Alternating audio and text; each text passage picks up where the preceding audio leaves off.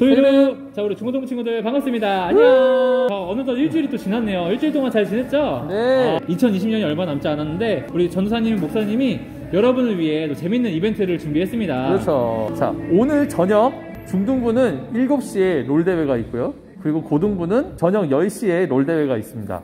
자, 우리 다음 주에 졸업, 마지막 졸업 예배 있으니까요. 우리 친구들 유튜브 접속, 그리고 줌 접속, 그리고 11시에 정확하게 우리 함께 우리 마지막 예배, 2020년 마지막 예배를 우리 하나님 앞에 기쁜 마음으로 드렸으면 좋겠습니다. 자, 우리 시간 예배 드릴 텐데, 우리 마음과 귀를 활짝 열고 예배했으면 좋겠습니다. 하나님은 영이시니 예배하는 자가 영과 진리로 예배할지니라. 아멘. 갑니다. 소령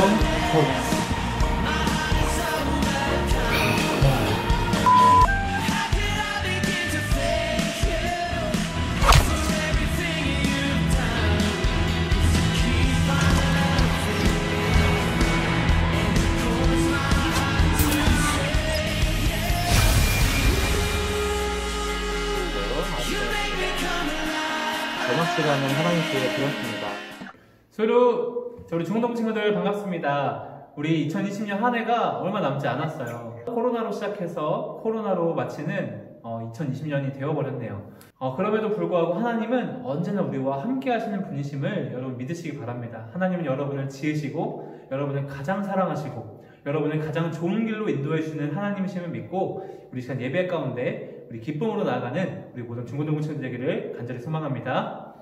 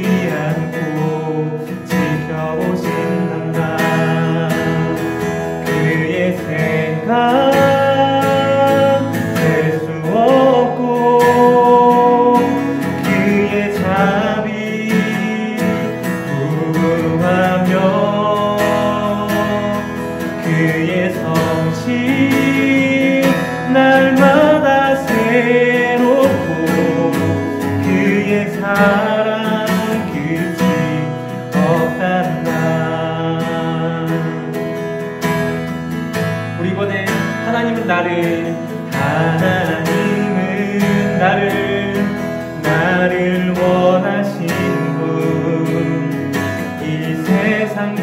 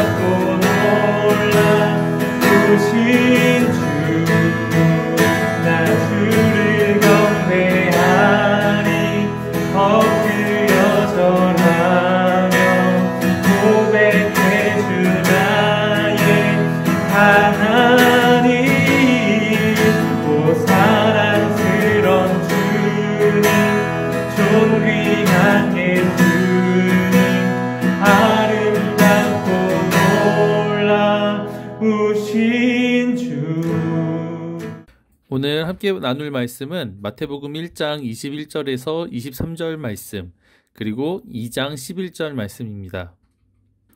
자, 그럼 함께 읽겠습니다. 아들을 낳으리니 이름을 예수라 하라. 이는 그가 자기 백성을 그들의 죄에서 구원할 자임이시라 하니라. 이 모든 일이 된 것은 주께서 선지자로 하신 말씀을 이루려 하심이니 이르시되 보라 처녀가 잉태하여 아들을 낳을 것이요 그의 이름은 임마누엘이라 하리라 하셨으니 이를 번역한즉 하나님이 우리와 함께 계시다 함이라. 2장 11절 말씀입니다. 함께 있습니다. 집에 들어가 아기와 그의 어머니 마리아가 함께 있는 것을 보고 엎드려 아기께 경배하고 보배합을 열어 황금과 유향과 모략을 예물로 드리니라. 아멘. 세이르 우리 중동 친구들 한 주간 잘 지냈어요? 예, 한 주간 별일 없었죠. 어, 이번 주 보니까 코로나 1일 확진자 수가 4일 동안 1000명을 넘었더라고요, 계속. 어, 이번 오늘은 어떻게 됐는지 아직 전사에 모르겠는데 오늘도 만만치 않게 많을 것 같아요. 우리 친구들 코로나 조심합시다. 조심하세요. 특히나 옆에 친구들이랑 옆에 사람들이랑 음식 먹는 것들을 최대한 자제해서 어, 우리도 건강을 지키고 그리고 이 사회에 우리가 먼저 코로나 확산을 방지하는 데 솔선수범하는 우리 크리스찬들 되기를 바랍니다. 자, 이번 주에 이제 드디어 우리가 기다리고 기다렸던 크리스마스가 다가오고 있어요. 여러분, 크리스마스, 크리스마스엔 누가 선물을 받나요? 우리 생일에 누가 선물 받아요? 내가 받잖아요. 그래도 원래 예수님이 받아야겠죠? 예수님 생일이니까. 그런데 실제로는 크리스마스 선물을 누가 받나요? 예. 거의 내가 받아오진 않았나요? 또는 내가 선물을 받아야 될 것 같지는 않나요? 어, 왜 그럴까요? 왜 그러는 걸까요? 예, 아마도 여러분이 알고 있는 산타클로스 때문일 것 같아요. 여러분, 이 산타클로스, 이 산타클로스는 과연 어, 실존했던 인물일까요? 네, 보통 상상 속의 인물이라고 이렇게 많이들 알고 있죠. 그런데 우리가 알고 있는 이 산타, 이 산타는 원래, 원래, 원래, 원래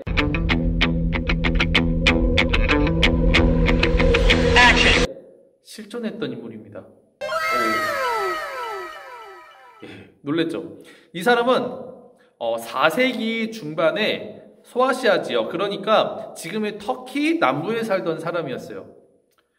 그리고 이 산타는 소아시아 지역의 제일 대표적인 목사님 중 한 명이었어요. 와, 놀랍죠? 그래서 원래 그 이름이 뭐였냐면 상투스 니콜라우스라는 사람이에요. 이 사람이 왜 산타클로스라고 이름이 알려지게 됐냐면 먼저는 이제 네덜란드 사람들이 상투스 니콜라우스를 부를 때 그 사람들의 발음대로 부르는데 그게 산테클라스라고 불리게 됐던, 됐던 됐었다고 해요. 그러다가 나중에 이제 미국을 통해 영어식으로 부르게 되면서 산타클로스로 알려지면서 이제 콜라를 몰고 그렇게 나왔다고 하죠. 예. 그리고 산타클로스가 목사님이라 그랬죠. 그것도 많은 사람들에게 존, 존경받는 목사님이요. 산타클로스는 예수님을 사실 정말 절실히 믿는 사람이었는데 어느 날 산타클로스에게 고민이 하나 있었어요. 그게 뭐였을까요? 예, 이런 고민이었어요. 나는 아, 나는 예수님께 항상 사랑을 많이 받고 있는데 예수님께 뭐 하나 드릴 수 있는 방법이 없어. 어떻게 해야 예수님께 선물을 드릴 수 있지? 이렇게 고민하던 중에 산타클로스는 말씀을 하나 보게 됩니다. 그 말씀이 산타클로스의 이 마음을 꽉 채웠어요. 그 말씀은 마태복음 25장 40절 말씀입니다. 전사님이 읽어드릴게요. 지극히 작은 자에게 한 것이 곧 내게 한 것이라. 산타클로스는 이때부터 작은 자가 누구일까 고민해요. 그리고 마침 결론에 다다르는데 이 작은 자가 누군지 알게 됐어요. 이 작은 자는 주변에 친구가 없거나 쓸 것이 넉넉하지 않아 도움이 필요한 사람들, 혹은 혹은 어, 나쁜 행동을 당했더라도 그 나쁜 행동에 반격을 하지 못하는 그런 약한 사람들이었어요. 이처럼 도움이 필요하고 약한 사람들에게 하는 행동이 예수님께 하는 행동이라는 것을 알게 된 산타클로스는 예수님께 선물을 드리기 위해 정말 열심히, 정말 열심히 도움이, 도움이 필요한 사람들을 이렇게 찾아다니면서 필요한 것들을 도와줬다고 합니다. 어, 귀한 예화가 하나 있는데 산타클로스에 대한 귀한 예화가 하나 있어요. 어, 산타클로스에 대한 유명한 이야기는 정말 가난한 아버지를 둔 세 자매의 이야기예요. 네, 세 딸을 둔 아버지가 있었대요. 근데 너무 가난해서 딸들을 시집 보낼 수가 없게 됐대요. 그러자 그만 아버지는 딸들을 나쁜 곳으로 팔아버릴 결심을 했대요. 어, 자포자기한 걸까요? 이게 뭔가요? 어, 이 소식을 우연히 산타클로스가 듣게 됩니다. 산타클로스는 어, 이 이야기를 듣자마자 이 딸들을 너무 돕고 싶었어요. 그런데, 그런데 겸손한 산타클로스는 남들이 다 보는 낮에 나 이렇게 이들을 도와줬어야 하면서 도와주지 않고 밤중에 딸들이 사는 집에 찾아가요. 그리고 몰래 창문으로 들어가서 딸들이 결혼하기에 넉넉한 만큼의 황금이 들어있는 자루 3개를 뚝뚝뚝 놓고 왔다고 해요. 어, 산타클로스 멋있죠? 여러분, 산타클로스가 왜 이런 행동을 했을까요? 예, 그 이유는 바로 단순합니다. 산타클로스 본인이 먼저 하나님께로부터 선물을 받았기 때문입니다. 어떤 선물일까요? 네, 바로 하나님의 외아들, 독생자 예수 그리스도, 그분을 우리에게 선물로 주셨잖아요. 그래서 우리가 영원한 생명을 얻게 하셨잖아요. 산타클로스는 먼저 하나님께 선물을 받았던 겁니다. 산타클로스에게 이 귀한, 아, 하나님께 이런 귀한 선물을 받게 된 산타클로스는 정말 그 하나님을 사랑해서 나를 위해 자신의 생명을 선물로 준 예수님께 나도 선물을 드리고 싶다고 이런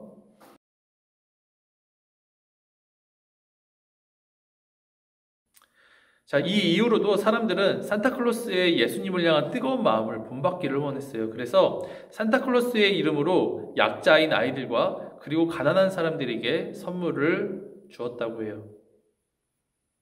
예. 도움이 필요한 사람들에게 선물을 주는 것이 예수님께 선물을 주는 것이니까 예수님을 사랑하는 사람들은 예수님이 나타나신 크리스마스에 예수님께 선물을 드리고 싶었던 거죠. 어떻게? 바로 약자와 도움이 필요한 사람들에게 선물을 줌으로써 말이죠.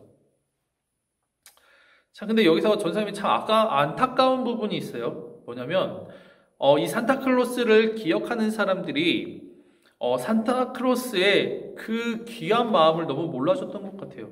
어떤 마음을 몰라줬냐? 우리 친구들 산타클로스가 남 모르게 도와주길 바래서 그렇게 낮에 도와주지도 않고 밤에 몰래 가서 몰래 가서 도와주고 그랬다고 하잖아요.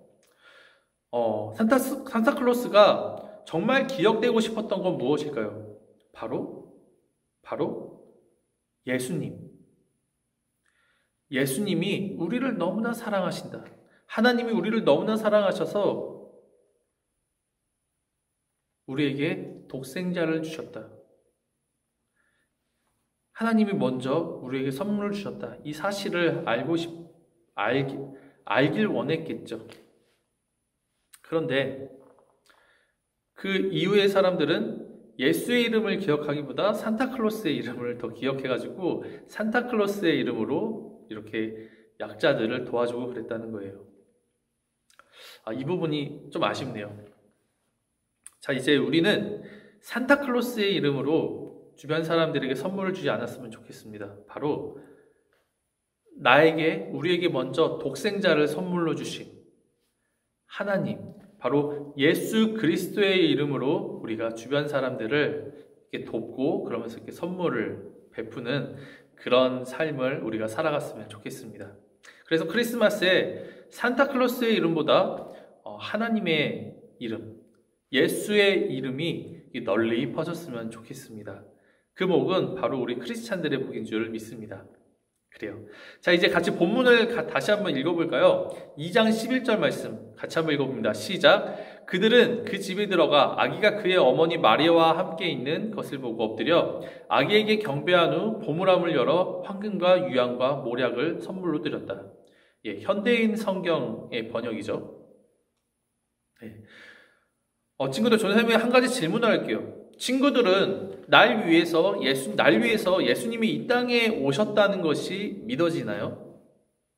네. 동방 박사라고 알고 있는 이 사람들은 지금 이란이나 저기 이라크에서 살던 사람들이라고 해요. 그런데 이 사람들이 예수님이 계시는 이스라엘로 갔다고 해요. 어떤 소식을 듣고 네.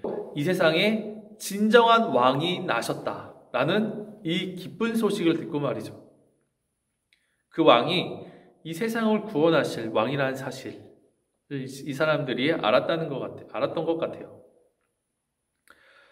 어, 그래서 지도로 보니까 자동차로 대략 25시간이 걸리는 그 거리, 약 1500km에서 2000km 정도 되는 그런 긴 거리를 이렇게 여행해서 예수님 앞에 갔다고 해요. 어, 낙타로 그 시다, 그 시대, 그 시절에 교통수단이 뭐가 있었을까요? 예, 낙타가 있었겠죠. 낙타로 갔으면 얼마나 걸렸을까요? 적어도 한 달 넘게 걸리지 않았나 싶어요. 예, 그 중간에 그 긴 여행 시간 동안, 그 긴 거리 동안 그 중간에는 분명 사막도 있었을 거고요. 그리고 물을 건너야 되는 일도 있었을 거예요. 그리고 도처에는 강도나 짐승 등 위협, 수많은 위협들이 도사리고 있는 그런 험난한 여정이었을 거예요. 그런데 이들이 이 험난한 여정을 갈 수 있었던 그 원천, 그 원동력, 그 힘이 무엇이었을까요? 예, 동방 박사들은 그 예수님이 자신들을 위한 귀한 하나님의 선물임을 알았던 것 같아요. 그래서 그 구원자 되신 예수님을 뵙고 경배하고 마지막으로 산타클로스처럼 선물을 드리기 위해서 찾아뵀던 것 같아요. 오늘 말씀에도 보면 그렇게 나와 있죠. 11절 말씀. 예. 자, 우리 친구들 중에 믿어지는 친구들, 믿어지는 친구들은 앞서 말한 산타클로스처럼 그리고 본문에 나온 동방 박사들처럼 여러분 앞 옆에 가난한 친구들에게 선물을 나눠줬으면 좋겠어요. 그 친구들을 도와줬으면 좋겠어요. 그리고 그 친구들의 친구가 되어줬으면 좋겠어요. 우리 교회에 이렇게 수많은 선물이 들어왔어요. 이 선물은 우리 성문교회 교인들 한 명한 한 명이 가난한 사람들, 도움이 필요한 사람들, 그 사람들에게 예수님 산타클로스처럼 선물을 건네주고 싶어서 이렇게 손수 다 직접 마련하신 선물들입니다. 어, 한 400개 정도 된다고 하네요. 어, 대단해요. 자, 우리 친구들, 우리 친구들도 하나님의 선물인 예수님을 선물로 받았다면 어, 주변 가난한 사람들에게 이렇게 선물로 도와줬으면 좋겠어요. 선물을 했으면 좋겠어요. 23일까지 선물을 받을 거거든요.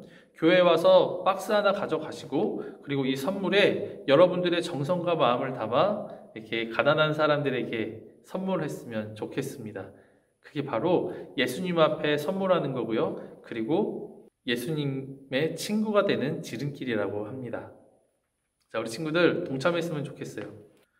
자, 그리고 여러분, 예수님이 날 위해서 오신 것으로 믿어지지 않는 그런 친구들이 있을 거예요. 전도사님도 교회에 한 9년째 다녔을 때, 그때 예수님께서 선물이 되시, 나에게 진짜 선물이 되시는구나.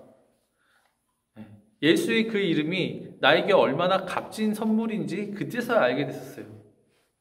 자, 우리 친구들 중에 예수님이 날, 나를 위한 선물이라는 것, 이것이 믿어지지 않으면 우리 친구들은 어, 선물을 주려 하지 말고 하나님이 직접 주시는 그 선물에 집중하고 그 선물을 받으시길 바랍니다.